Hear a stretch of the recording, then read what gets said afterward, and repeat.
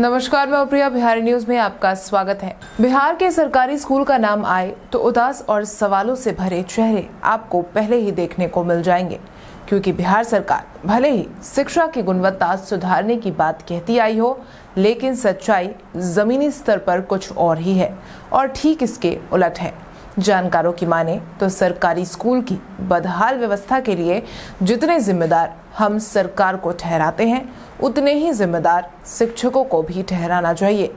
क्योंकि सरकार के अधीन होकर भी सभी सरकारी स्कूलों की पढ़ाई व्यवस्था को देखकर आप भी सवाल ज़रूर पूछेंगे कि आखिर देश के भविष्य के साथ इतना बड़ा खिलवाड़ क्यों?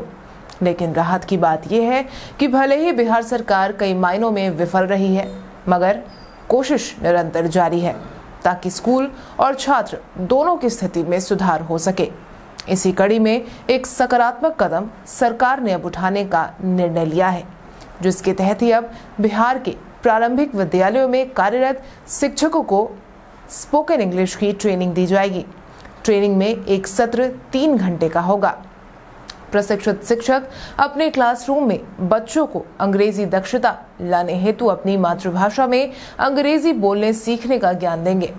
पहली से आठवीं कक्षा तक के शिक्षकों को स्पोकन इंग्लिश का प्रशिक्षण दिलाने के लिए S C E R T leap for world और मेरिको लिमिटेड के बीच एमओयू पर करार हुआ है। इस मौके पर विभाग के अपर मुख्य सचिव संजय कुमार, सचिव असंगबा चुबा आओ और प्राथमिक शिक्षा निदेशक अमरेंद्र प्रसाद सिंह समेत अन्य अधिकारी मौजूद थे, जिसकी मदद से पहले शिक्षक अंग्रेज़ी बोलना सीखेंगे और फिर ऑनलाइन परीक्षा में शामिल होंगे।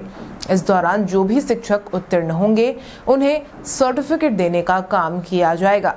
आपकी जानकारी के लिए आपको बता दें कि अंग्रेज़ी सीखो और सिखाओ अपनी मातृभाषा कार्यक्रम के तहत शिक्षा विभाग ने शिक्षकों को स्पोकन इंग्लिश के लिए जिस मेरिक को एजेंसी से करार किया है, वो शिक्षकों को यह ट्रेनिंग निःशुल्क देने वाला है।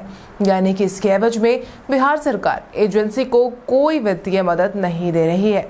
हालाँकि ट्रेनिंग के बदले लिप फॉर वर्ल्ड संस्था को मेरिको राशि मुहैया कराएगी। वहीं अगर हम शिक्षकों को दिए जाने वाले ट्रेनिंग की बात करें तो एमओयू होने के बाद एजेंसी द्वारा चालू शैक्षणिक सत्र 2021-22 से चरणबद्ध तरीके से शिक्षकों का ग्रुप बनाकर ऑनलाइन ट्रेनिंग दिसंबर से शुरू किया जाएगा। जो कि तीन वर्षों में पूरा होगा, जिससे बिहार के सरकारी स्कूल में पढ़ाने वाले शिक्षकों की किस्मत तो बदलेगी ही। साथ ही इनके नेतृत्व में पढ़ने वाले छात्रों का भविष्य भी उज्जवल होगा, क्योंकि बिहार बोर्ड से कई होनहार छात्र भी निकले हैं। लेकिन इन सब में एक समस्या होती है अंग्रेज़ी बोलने और समझने की कमी। अन्य सभी विषयों में महारत हासिल करने में सक्षम यह छात्र अंग्रेज़ी के क्षेत्र में मात्र खा जाते हैं, क्योंकि पठन पाठन में अंग्रेज़ी को उतना महत्व तो नहीं दिया जाता, साथ ही बोलचाल में भी शिक्षक अंग्रेज़ी का इस्तेमाल नहीं करते, जिसके कारण छात्रों को अपने आगे के शैक्षणिक करियर में परेशानियों का सामना भी उठाना पड़ता है। हालाँकि बिहार सरकार के इस पहल से उम्मीद यही की जा रही है कि आने वाले समय में बिहार के सरकारी स्कूलों की व्यवस्था अभी की तुलना में और ज़्यादा बेहतर होगी। इसके साथ ही आज के इस वीडियो में बस इतना ही। तब तक के लिए धन्यवाद।